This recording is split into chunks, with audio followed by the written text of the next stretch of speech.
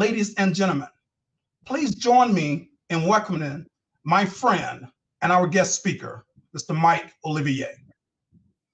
Thank you, Anthony. I appreciate it very much. Uh, it's nice to see so many people who are members of the Committee of 100 being members of the Baton Rouge Rotary Club, which I know to be one of the largest of over 30,000 Rotary clubs in the world.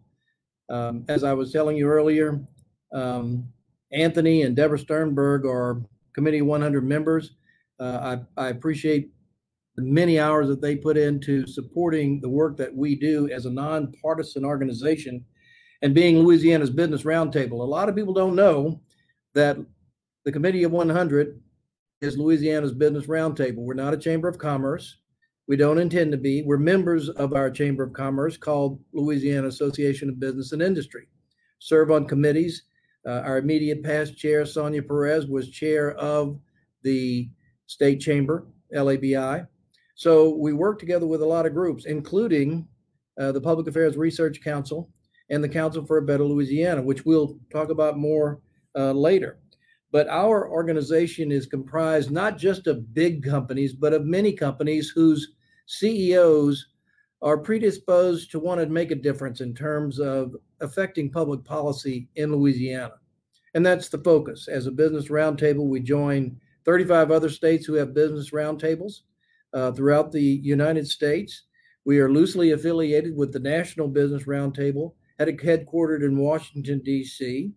And we pretty much follow the same track that they do, focusing on things like workforce, workforce development, education as a part of that, and other issues, including criminal justice reform, tax reform, state finances, and those things that impact business and economic development directly.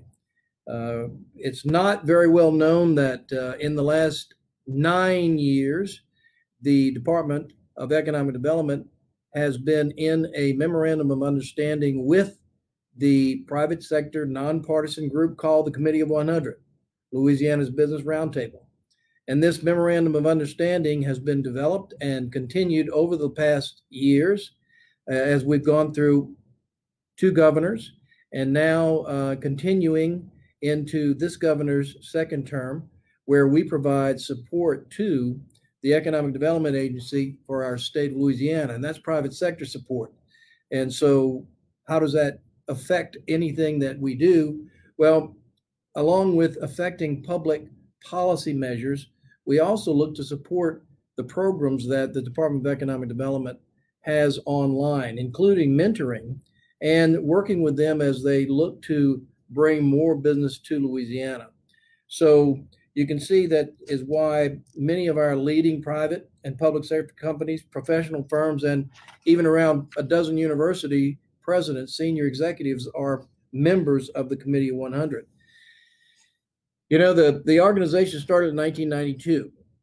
Uh, it was based here in Baton Rouge, Louisiana, but it's a statewide organization. Uh, some people will remember that uh, it, it, started what was called the Select Council of Revenue and Expenditures in Louisiana's Future. That acronym was termed SECURE. In 1990s, mid 1990s, it led to a commission being formed. Uh, Governor Mike Foster, whom has been in the news lately, um, who is 90 years old, and and currently it seems that uh, this these may be his last weeks on this earth, uh, was a part of that, a big part of that. And over $2 million was raised by the Committee of 100 members and other businesses, resulting in a Peat Marwick study that provided about 173 um, recommendations that were passed and implemented by the legislature. And 77 of those were partially implemented. Now, in 2014, we're going to fast forward where here we have the Department of Economic Development working in tandem with the Committee of 100, Louisiana's Business Roundtable, and seeking how can we make Louisiana a better place for business and industry and do what's right to make Louisiana a better place to live and work. And in 2014, we started a process of tax reform pushing on tax reform. And what we did was is we got engaged with the National Tax Foundation in Washington, D.C., who examined Louisiana's overall tax structure. And I'll tell you, for years, they have been a public policy group, nonpartisan public policy group that examines and grades and ranks every state on their tax policies. And so Louisiana, I know you know this, has consistently ranked one of the lowest. And so what we wanted to do was to find out what is it going to take for Louisiana to be a better place for business? What is it going to take for Louisiana to be a better place to live for our individuals, our citizens?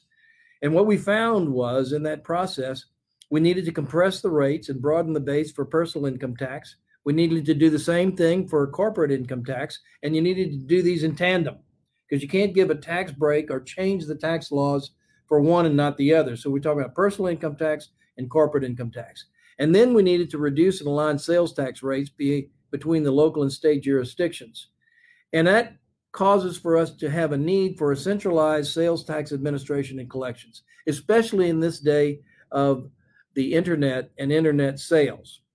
Now let's go forward from 2014 to 2017, where the legislature took note of this study that was done and paid for by the Committee of 100, and they commissioned the Task Force on Structural Change in Budget and Tax Policy, also known as HCR 11 Task Force.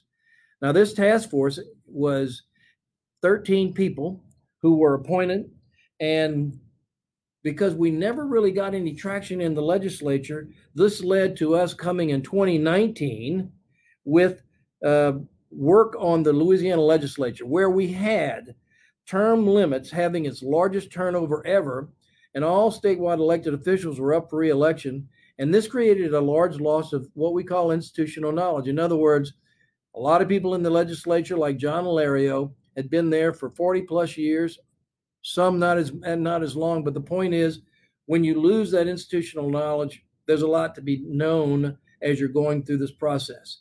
We started a group called Reset Louisiana, and it was a nonpartisan effort that was led by the Committee 100 with the Council for Better Louisiana and the Public Affairs Research Council in response to this need to change some things, particularly in those four areas. And our goal was to create some practical public policy opportunities in the 2020 legislative cycle. So we began a process, and it was a year long effort to educate policymakers, people running for office, on and on the reset agenda. And what we wanted to do was to help them to know where we've been in the past with these issues and what are the things that needed to be changed, and that we would provide the support to them as they made and voted for these changes. So there are four key policy topics. The first was education, and these are workforce issues. Obviously, as a business group, we're very interested in the workforce equation. State finances, uh, being everything from our pension, pension reform to tax reform, the criminal justice or public safety areas where we have so many people who are incarcerated in our state that it's costing us an enormous amount of money, probably the highest per capita cost in the United States in terms of incarceration and transportation infrastructure. And you all being here in Baton Rouge, we do not need to preach about the need for transportation improvement of our roads, but this is going beyond just our roads and bridges. This is going to the point of transportation overhaul for maritime, for our airports, for anything that has to do with moving commerce. And that's very important and critical for us to be a more attractive place to bring business and industry to Louisiana. So here we are in 2020. COVID 19 has created a public health and economic challenge. We've never seen anything like this before. And by March, the regular session of our legislature was suspended, disrupted by uh, all policymaker and stakeholder plans relative to the 2020 legislative cycle. So we all had to basically pause and given the challenge of this virus, we uh, at the reset, reset team developed a set of priority recommendations for the immediate term. And that was to see where we could go. And so the immediate recommendations for 2020, again, having a workforce approach to it, was ensuring that child care centers can operate at capacity. Now, you know, again, it's a workforce issue. I, so many people depend on the child care centers early childhood development. These are not babysitting centers, these are educational centers. We need to educate. We need to do more in the education field. Starting people early, we're convinced, we all are convinced, that the earlier we start them, the better. And their parents are working. So if they can go to a place that's qualified and they can learn, then we can help the workforce capacity issue. And we need to require that every school district has a continuing learning plan. As we learn, the disruption created by this pandemic could be created by any other catastrophic event. So we needed to have what is the learning plan? What are the options? And that leads to technology. What's the technology plan? And all of this deals with how do we get this information and how do we make sure that there's a transparency so that the school districts and the parents and the people who are stakeholders know that their kids are going to be taken care of and there will not be a huge pause. We're all worried about where we're going to be at the end of this year in terms of our kids having been out of school for a period of time, coming back into school, the uncertainty of not knowing if you're going to do a hybrid program, if you're going to be in person, if you're going to be uh, online. What about the technology aspects of being online? So there's a lot to uh, the issue of educating our workforce, our workforce of the future. Next, it's the target investments in technology. And with the federal recovery money that we're getting for education, we need to start focusing on where we're putting this money so that we can enhance what we have in terms of the technology network. And providing a quick turnaround for workforce training is evident in the numbers that we've lost, particularly in the entertainment and recreational areas of our state, the tourism areas of our state, the restaurant industry, the hotel industry, all of so many of these people have lost their jobs. We need to find a quick turnaround, which is why the governor has has authorized a $15 million investment in our community college system so they can train 15,000 people between uh, accreditations in two week programs up to 10 week programs so we can train as many as 15,000 people in a lot of different areas that are quantified, qualified areas of need. In other words, they might be going from working in a hotel to being engaged in the IT industry. And then what we need to do is to pursue tax changes that improve the chances of recovery. And these are measured by the impact on state revenues and the long term reforms that we're looking at. So, what we're talking about is a balance here. You can't just give everything away. You can't just open the cash box and, and go into debt to the point that our national government has.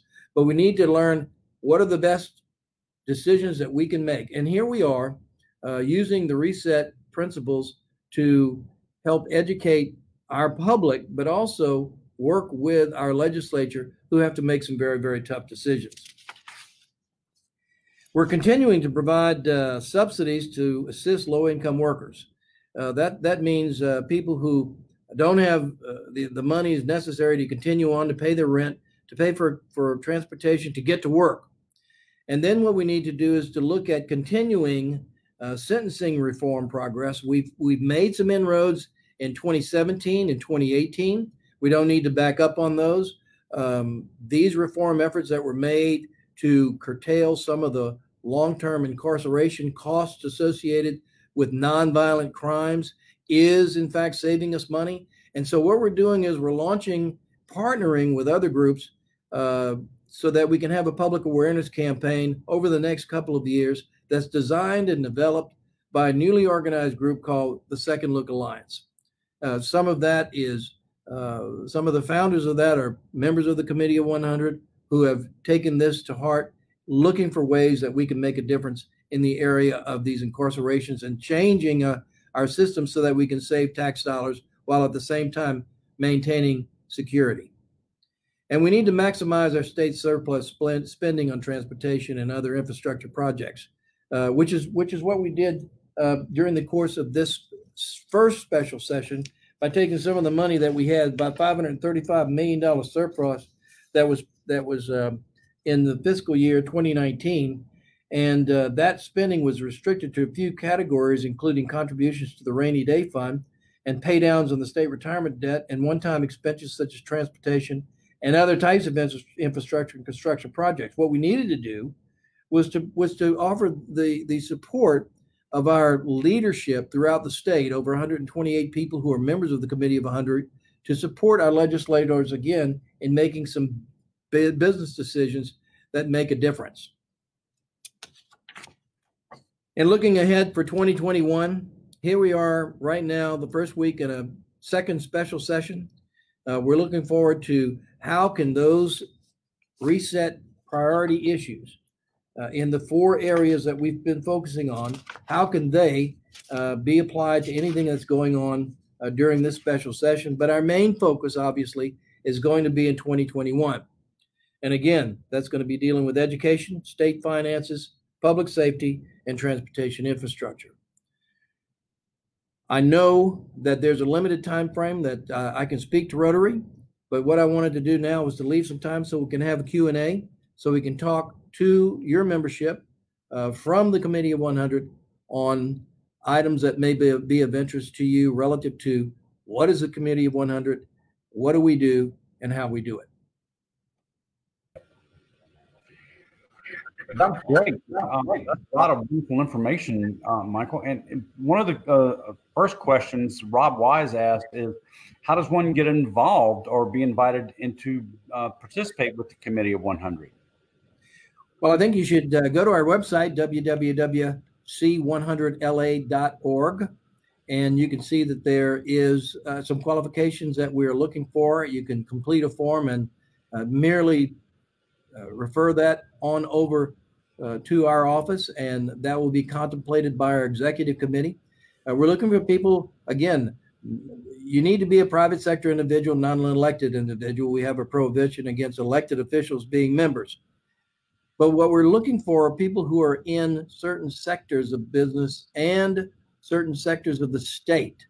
Uh, we're always looking to be as diverse as we possibly can. Uh, we're always looking to be in every region of our state, the eight regions of our economic regions of our state. And we're looking for those people, those leaders in those companies who are predisposed to want to make a difference and using their influence with our legislature to affect public policy measures. So going forward, I know we're, we're, we've got this, this limited special session coming up right here. What are some of the legislative agendas looking forward into the next year and, and, and on out over, over the next several cycles? Well, this special session uh, has uh, 70 items of interest that these legislators have put forth uh, it's almost like a regular session, frankly. And of that, they're going to go and spend uh, uh, millions of dollars on what is a 30 day session lasting until October 27th. Uh, I'm not sure. So far, we've seen about 60 bills that are being that have been filed and are being referred to committee and are being heard in committee. Of that, most of these bills look like they are bills that didn't make it during the regular session of 2020 and during the first special session of 2020. In addition, there are bills that are seeking to curtail the executive privilege that the governor has relative to catastrophic event management. Uh, we're not sure exactly how that's going to play out or what the outcome is going to be. Um, many of the relevant issues that we have in our reset program dealing with things like the state finances, pension plans, and all of that, uh, those haven't been addressed in the legislature yet. We have not seen any bills thus far that really impact those areas. But we do expect that there's going to be some activity during this session that's going to be setting up bills for the regular session in 2021, which doesn't begin until April. And so, with that in mind, we are every day looking at what bills are filed, what bills are heard, and what is said about these bills. Because if you understand the legislature as we're trying to, and that is not an easy chore, uh, we're trying to figure out who's introducing the bill, what is the intent of the bill. In many cases, they're trying to show a hand to see what, to gauge what is the support or opposition to any action that might be taken in uh, setting up a similar bill for a following session. And remember, the session in 2021 uh, is going to be a really important session uh, because we're going to be dealing with an awful lot of issues, including uh, catastrophic event uh, costs, this pandemic event, the hurricane events, the flood events, which are continuing, um, and and going into uh, what will be another fiscal cliff situation for our state, since it's going to affect the tax revenues that we have. We've got to have tax reform. We've got to have education investment. It's the future in terms of our workforce. So, how do we build best to come back as an economy to build our business and industry and make us a competitive state? That's that's a, a, great question. What are some of your ideas? What are some of the, the, the things that the Committee of 100 would like to push forward for some specific reforms? Specific reforms in the area of taxes. We've got to streamline the tax process. We have to change the tax code. We have to make these more, how would you say, um, a broader tax base. We've got to moderate some of the tax exemption privileges. And these are not just for business and industry. These tax exemptions exist as many or more tax exemptions exist for individuals as are for business and industry. And we've got to remain competitive in terms of keeping the businesses that we have, but also bringing new businesses to Louisiana. Okay. Uh, not seeing a whole lot of questions just as of yet. I think one of the questions I, I would like to know when when the committee of 100 is is putting together formulating your ideas or your the things that you're wanting to take back to the to the legislature are you concentrating on specific areas so if you if you have members who are in one sector versus another they take those expertise and take take their leadership in, in that role. Do that do you break out your information that way or, is it just a, a, collective group? Once again we we focus on the specific areas i mentioned in terms of workforce issues education which applies to workforce state finances which covers everything from pension to tax reform uh, and areas of transportation infrastructure and public safety those are the four main areas but what we do is we depend on those businesses and those business leaders who have expertise in those areas. Plus, we focus on our partners.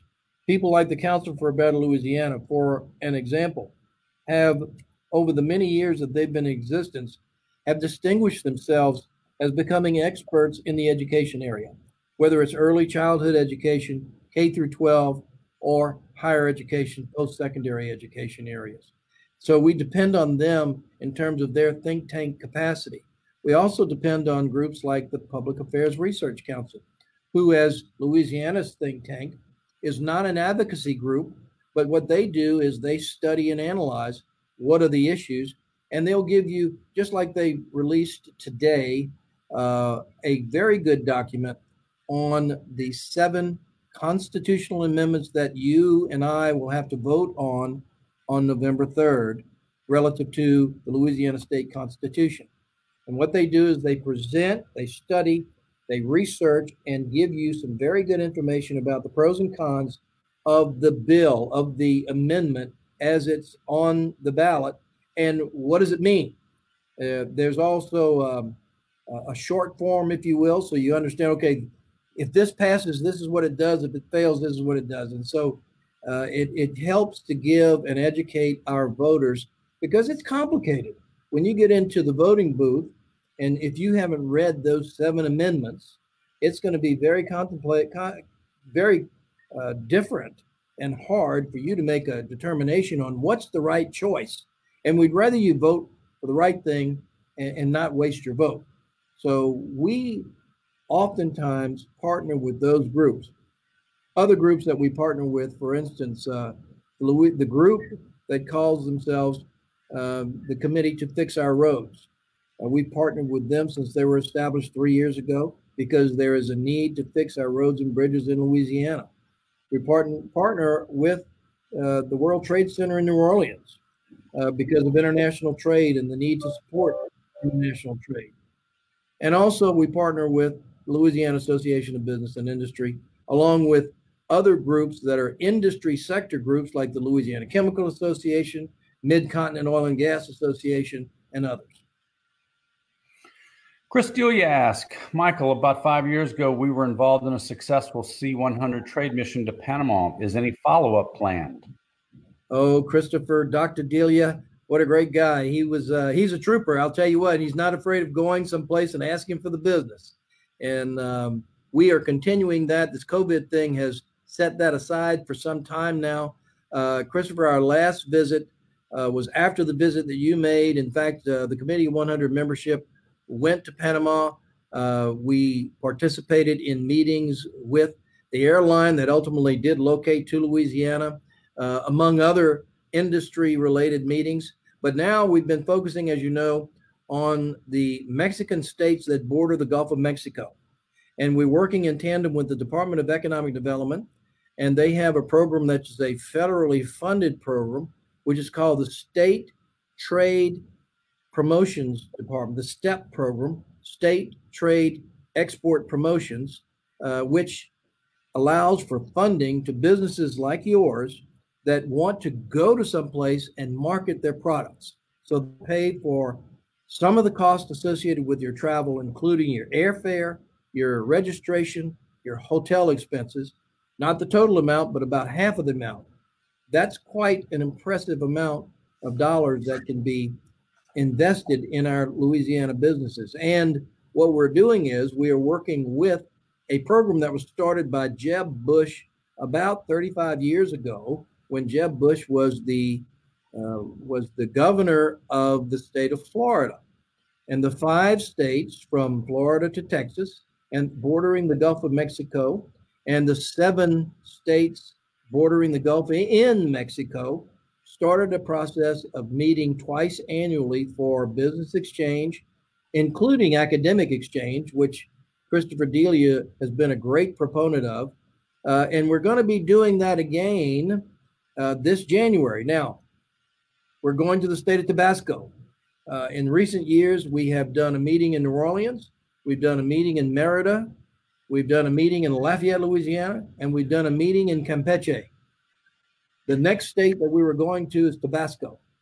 And lo and behold, the new ambassador, well, the new consular, uh, consul general to the United States representing Mexico is from the state of Tabasco. And when he came to New Orleans this past year, he announced that he would like to lead a business delegation to Villahermosa in the state of Tabasco. Now, some of our businesses in Louisiana have some offices and activities in uh, the state of Tabasco. The University of Louisiana Lafayette happens to have a relationship with the university there in Villahermosa. So we're looking forward to bringing businesses who can do business with the Mexican uh, business group uh, who are specifically in the areas of oil and gas industry, but also uh, Ochsner is very interested in TELMED. We have universities who are interested in agribusiness opportunities.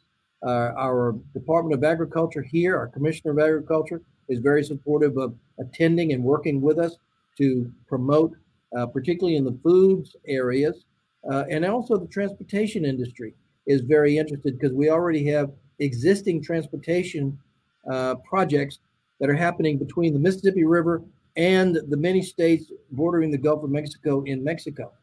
Uh, and so we're looking forward to being able to, we're starting the promotion now. Uh, we're just releasing an announcement on that uh, at on Friday uh, by the Department of Economic Development and the World Trade Center. In addition, uh, we'll be going during the week of um, the second week of, of January, uh, and we'll be bringing companies who are going to be supported by the STEP program, the federal program, to pay for part of their expenses. Awesome. Chris did post a, a follow up. He said that LSU also has a relationship with the same university in Villahermosa. There you go. Way to go, Chris. yeah, we Chris is a great guy, really great Rotarian. Uh, I don't see any further questions, Mr. Olivier. Uh, do you have any closing comments you wanted to, to, to go? Like to ask, I would like to ask everybody to really pay attention. Um, if you have not promoted the census count among your businesses, among your stakeholders, your clients, please do that. Uh, it, it closes out October 5th. Louisiana is we're concerned about being undercounted. This means millions and millions of dollars for the next decade to Louisiana. The importance is very important. And I'm not even mentioning a perhaps loss of a Congress congressional seat in Louisiana. Beyond that, it's about the money. And if we don't get a full count, and right now we're in the high 80% area, but we need to get closer to that 100% mark where we can count everybody in the state so we can get full funding. So we encourage all Rotarians. You've got 500 people who can touch another 500 people and go beyond that. So in the next few days, if you've got a, a neighborhood uh, association, if you've got a, uh, social uh, online presence, social media online presence, whatever you can use, please encourage people to sign up. It takes takes four or five minutes to answer the the, the census data uh, online. You can do it. And we thank you for supporting Louisiana. Thank you to the Rotary Club and so many of its members, and certainly my members who are members of the Rotary Club. I admire them for uh, participating in what I think to be one of the greatest organizations in the world. We did get one one last question real quick from Todd Lowry. So the state legislature recently made changes to the angel tax credit to entice more capital deployment to startups. Do you see the legislature or the uh, Committee 100 undertaking initiatives for startup growth? Well, the Committee 100 would be supportive of that, surely. Uh, but what we're going to be seeing is uh, the Department of Economic Development seeking the legislature's support on enhancing these angel tax credits to get more capital deployment uh, in the market. Some of our members with the Committee of 100 actually are engaged in venture capital uh, uh, in Louisiana. And uh, this is a great way, and it's been demonstrated over the past 20 years as a great way to encourage more people to invest in Louisiana companies. Right. Again, Michael, thank you very much for spending some time here with us today. A lot of great information, um, and and we will encourage our, our members to to make sure everyone does that census to help help us get all those numbers, but also reach out to the the Council of 100's uh, website. What's the the web address again for the council? Yes, it's www.c100la.org. Awesome. We invite you to look at that. Also, please look at reset-louisiana.net uh, because that is where we have our reset program outlined, and we look for anybody to investigate that and input on that. All of those principles that we uh, talked about today are included there for your perusal. Thank you again. Thank you.